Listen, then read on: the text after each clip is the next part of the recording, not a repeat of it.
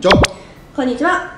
さあ今日は何の話をしましょ今日はやっぱ高校野球について、はい。まあ選抜の甲子園がね、はい。始まるのか始まらないのか。あのこの動画いつ出るかちょっとわかんないんですけどそうそうそうそうまだね3月のまだ開幕もそうですね。まあでもね無観客でうん。やるのかなっていうはい。感じはうん。しますけどね、はい。まあ、あとはですねこれはまあ僕の考えですけど、はい。学校関係者だけはうん。見れるようにしてあげてほしいですねそうですね。それはでもあとはもうそのの自分たちの判断ではい。学校関係者だから父兄とかうんあとは部員とかはい。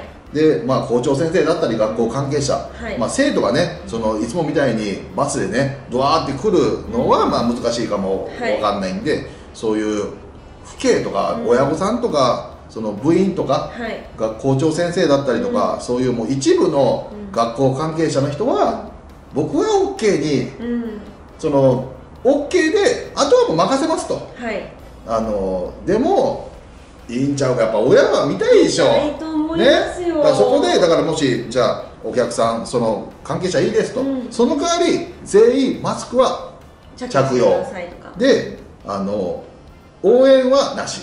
はい、ねそのメガホン叩いたりとかっていう応援はなしですと、うん、でも観戦は OK ですと。はい、であの席ももう決めて、うん。だからもう内野席ぐらいでいいですよね、うん。そこのここの位置ですと、っはい、ていうのでやってあげてほしいですよね。それぐらいはねまあその中ですね、まああのまあ、去年の夏の甲子園からもそうですけど、はい。まああの試合時間短縮に向けてとか、うん。あの夏暑いですよとか、はい。い、ろんなところで高校野球も木製バットにした方がいいんちゃうかっていう議論があるんですよ。はい。金属やめて、えー、なんでですか？まあ、まずその時間が早く終わるんではい。木製の方が打ちにくいからそうそうそんでなんかかカンからカンから飛ばないんで、はい。であとはその、まあ、昔がもう高校野球昔木だったんで、はい。でそので木の方がプロに上がるのもスムーズに上がれるっていう、やっぱ金属から木に伝えを変えるっていうのは、まあ、難しいところもあるし、あのまあ僕はそんな難しいかなって思ったんですけど、はい。そういったところで高校野球も木にした方がいいんじゃないのかっていう人がいるんですけど、はい、まあこれはね、うまあ、おバカさんが言ってることですよね。ん、そうなんですか。まあでも今のあの、まあ、スムーズに上がれる？とか聞いたらじゃあまあ木製でもいいんじゃない？って。って思うじゃないですか、はい。むちゃくちゃ金かかるっすからね。えそうなんですか？木製って、まあ、仮にもしプロが使ってるはい。同じバットを、うん。プロモデルを使うとしたら1本23万するんですよ、そんな高いんですか？はえじゃあ金属製のバットはおいくらぐらいなんですか？い、いや一緒ぐらいですよ23万、はい。まあうんまあ、でも2万から5万ぐらいですかね。はい。でも半永久的に使えるんで。折れないんで。ああそっか。金属は。木は僕らでもそうですけど「か。はい来た23万のバットあよっしゃ今日印刷でバヨーン折れる可能性あるんです。からね、それでもう23万消えるんですよ。一回の打席で2本折ったととかあ全然りますよね。全然全然あるんですよ、ってなった時に、はい。そのお金賄いますかって話なんですよ。確かそれはもでしかも練習からでしょ。にはいで僕らもそうですけど僕らも高校時代練習ははい。竹バットだったんですよ、竹。バットね知ってる方いるでしょ？でも竹バットでも6000円ぐらいするんですよ。はい。1本ね、うん。でそので竹バットっていうのは芯に当たらなかったらめちゃくちゃ痛いんですよ。はい。だからそのしっかり芯で打つん。練習、で金属はもう詰まろうがなしようがそんなに痛くないんで,、うん。でその竹バットで芯に当てる練習、うん。詰まったら痛いっていうのが分かるからはい。常に芯に捉えるっていうのの練習方法、はい。で僕らは試合以外は全部竹バットだったんですよ、はい。練習は。試合だけ金属バット使えるんですよ、はい。あと練習は全員1人1本買って、はい。竹バットだったんですけど、でも竹バットっていうのはパキンって折れないんですよ。はい。うん。ひびが入るんですよ感じなんですよ、うだからちょっとひび入ったらそこをテーピングで止めて。はい。あじゃあ使えるんですね。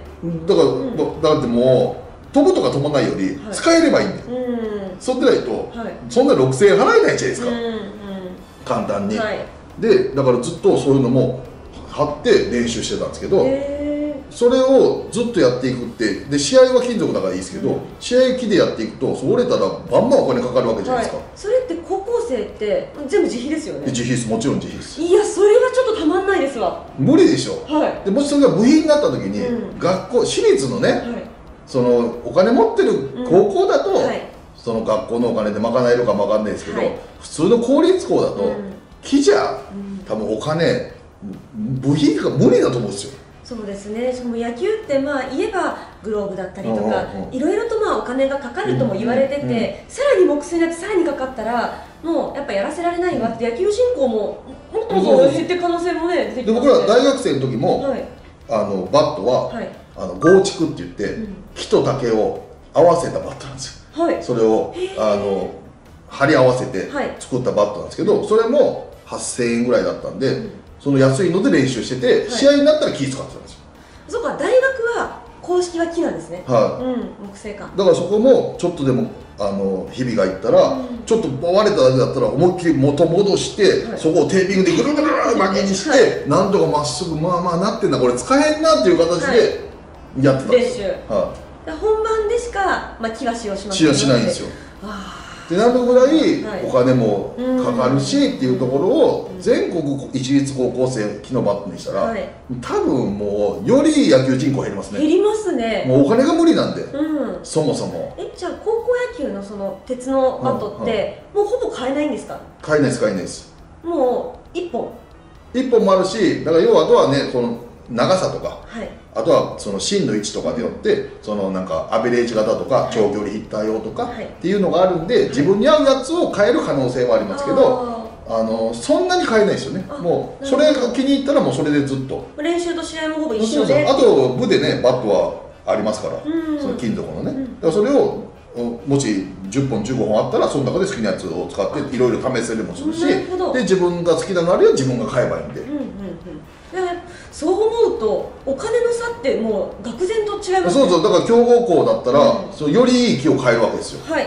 でもしお金がないところだったら、その23万の木バットも買えないんで、じゃあもう1万円ぐらいのやつにしとくかってなるともう素材が粗悪になっていくんで。それ私立と公立との差とかも出てきちゃう出てくるんですよ。そうバット1本でね、うん。でそのとあのなんつうの反発力もはいやっぱい。い木と悪い木と全然違うんで,、はい。うんうんでそういったところも出てくると、木じゃ難しい、はい。であとはね高校野球が木になると、はい。ほぼ点入んないですから。そうそんなやっぱ違うんですか？いやあのね社会人野球がはい。いですよ、はい。社会人で木になってから、はい。点あんま入んなくなったんですよ。え社会人っていつから変わったんですか？ねいやもういつからか忘れましたけど、はい。昔は金属だったんですよ。あそうなんですか。金属の時は、はい。これはもうこの前あの大会 TV のねマスクマンの時見てくれましたかね。あの時で、あの谷さんと一緒になって、はいで谷さん谷さんあの三菱自動車岡崎だったのかな、はい。時の社会人でその時金属だったんですけどで他の僕の同級生とかも金属でやってた時に聞いた話をやっぱ合わせると、はい。金属バットっていうのは10点差がはい。安全リードじゃないんですよ、はあ。10点ぐらいはい。すぐ取れるらしいんですよ。はい。金属は。まあ甲子園見てるとそう思いますよね。あカンカラカンカラ打てるんで、うん。ほんで社会人が打つじゃないですか、はいででも木になったら、はい。もう34点安全リードですよね、ほぼほぼホームラン数も圧倒的に減ってるし、はい。打球の力も全然ないし、うん。その社会人でもそうなるのに、うん。高校野球がキーも出したらほぼほぼもう点入んないですよ。はあ。えじゃあ高校野球でじゃあ何十本ホームラン打ちましたっていう選手が、そのホームランが全部ギリギリだったとするじゃないですか、はほラインの、はいはい。ってことはプロ入ったら全然打てなくなるってことも、うんもちろんもちろん。もちろんもちろんもちろん、うん。だから木にやると多分ね皆さんが見てる甲子園高校野球、まあ、めっちゃつまんなくなりますから。全然点入んないじゃんっていや全然だってもう力のないやつが打てることなくなるんで、はい。打球の速さも違うし、うん。で芯に当たらなきゃ飛ばないし、うお金がかかるし、はい。い、いところ一つもないんですよでしかもねあのプロに行ったらスムーズって、プロに行くやつ何人いんねんって話なんですよ 確かにそうですね。そんなやつらのために、はい。なんで木のバットにしなきゃいけない、うん。それが理由だったらね。チーム一人もいないってここ学園ほとん。どですからね。でも一つだけメリットあるとすれば、はい。試合すぐ終わりますから。短縮？打たないから。はい。はあ。えじゃあ本当そこだけじゃないですか。そうそうそうそう。他は全く意味ないと思うんですよ。でも試合も、まあ、考え方によっては短縮するのももちろんいいと思いますけど、試合を楽しみたいって方からしたら別に短縮が、まあ、全ていいかって言われたら別にいいわけではないわけですしはい。ねお金かかるし、はい。非力な選手は打てなくなるし、うん。いやそれはもう無理ですよ。いいとこないじゃないですか。はい、だから僕はもうだからおバカさんやっちゅって言あもう意見覆りました私も。完全にもう返されました。いいとこないね、うん。だからもう金属で行くしかないんですよ。はいっちゃう可能性ってあるんですか？いや多分ないと思いますよ。だって現実的に無理っすもん、うん。今の聞いたら無理でしょ。無理です無理です。それでもいるんですよ。はい。気にすればっていうおバカさんが。はい。無理っすから。無理。ダメだダメだ。ね。気にしちゃダメだ。はい。だからそこは変えるとこじゃないですよね、やっぱそのプロになる人って誰しもが統一して鉄を使ってきてるわけなので、うん。スムーズかスムスムーズじゃないとしてもですよ、うん。鉄から木に、うん。でもそれってみんな平等じゃないですか。そうそうそうそれ適用できるかどうかもやっぱりそのもう能力ですしね。適用っていうかもしそれで適用できないやつは多分木だったらプロ入れてないかもしれないね、ああもともと木で高校やってたら、そこまで、そこまで打ててないから、うん。要は芯に当たれば、はい。芯に当たったら木と金属一緒っすよ。はあ芯に当たったら木も、うん。っていうことは、はい。その木に対応できないってことは、うん。芯で打ててないってことなんですよ。はい。でも金属っていうのは芯で打てなくても飛ぶわけですよね、はい。っていうことはそいつがもし木だったらプロ慣れてないかもわかです。そうですね、あそう考えたら本当にねもう鉄でいいですね。鉄でいいでしょ。いいです。や鉄の方が面白いですからもうね。甲子園はああやってねバカバカ点入るのが楽しいんですよ。だからいろんなね弊害あるかもわかんないですけど、はいまあね金属で金属で